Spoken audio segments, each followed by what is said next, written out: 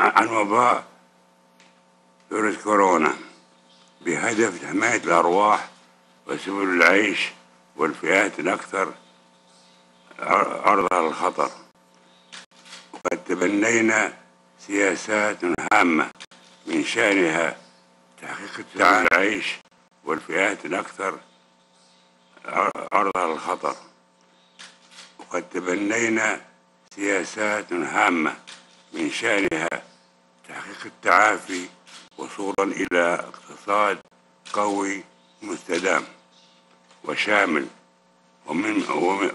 ومتوازن وتفعيل الجهود الرامية إلى جعل النظام التجاري العالمي صالحا للجميع. وتهيئة الظروف لتحقيق التنمية المستدامة. وهم من ذلك أننا قد نجحنا في تقديم رسالة ستبعث بالاطمئنان والأمل لمواطنينا وجميع الشعوب حول العالم من خلال بيان القادة الختامي بهذه القمة والذي أتشرف بإعلان تبني دول مجموعة العشرين له. وما كان ينتظر ينتظر العالم منا. وهذا الإنجاز اليوم يعد تكليلا لجهودنا المشتركة خلال عام مليء بالتحديات.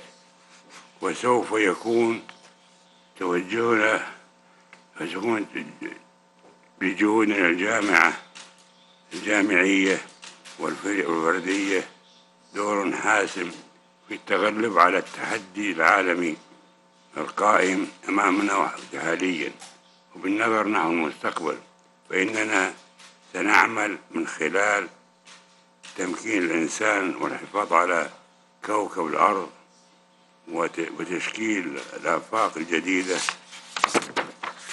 على إرساء الأسس لتحقيق الهدف العام لنا وهو اغتنام فرصة القرن الحادي والعشرين للجميع. ونظرا لمكانة المملكة الإقليمية والدولية وموقفنا الفريد يربط بين ثلاث قارات يشكل حلقة وصل بين الأسواق الناشئة والمتقدمة. إن المملكة سوف تستمر في لعب دور رئيسي في مجموعة العشرين لتحقيق التعاون العالمي وإيجاد الحلول لأكثر التحديات العالمية إلحاحا في القرن الحادي والعشرين. بالتعاون مع شركائنا في مجموعة في المجموعة وبقية الدول.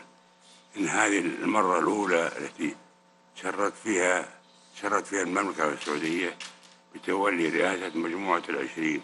وإن كان عاما مليئا بالتحديات الكبيرة إلا أننا وبدعمكم قد تمكنا من ارتقاء بمستوى التحدي. أود هنا أن أعرب عن خالص امتناني لشركائنا في اللجنة الثلاثية. ترويكا إيطاليا واليابان. على مساعدتهم لنا في تحقيق برنامج هذا العام. ويسرني الآن أن أنقل شرف مسؤولية إضافة رئاسة مجموعة العشرين في عام 2021 إلى إيطاليا متمين لها النجاح. في ذلك ونحن على أبد الاستعداد لتقديم العون بأي شكل ممكن.